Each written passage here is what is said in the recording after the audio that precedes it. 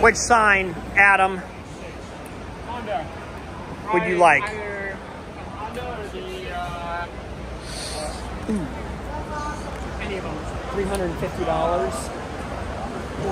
It's so bright. Which sign would you like, Amanda? I don't know any of them really.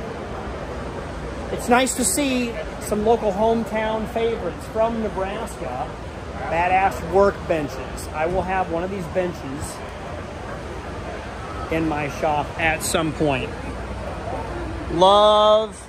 Okay, couple cool things about these benches is these seats, the chairs, the rollies, and also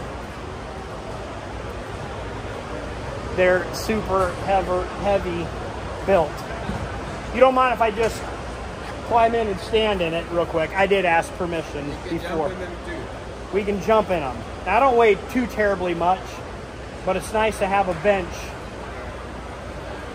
Not a bench, but a drawer that you can stand in. This is uh, four by 10. This is my pride and joy that I want in my shop probably next year. Oh, these seats are just amazing. Roller chairs are adjustable.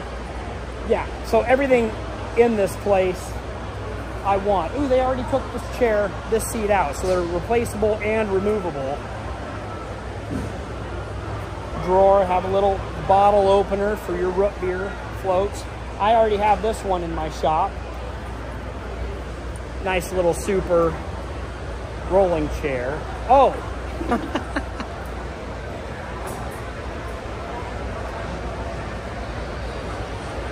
awesome. I would like a workbench like this with this pegboard where I can um, organize all of my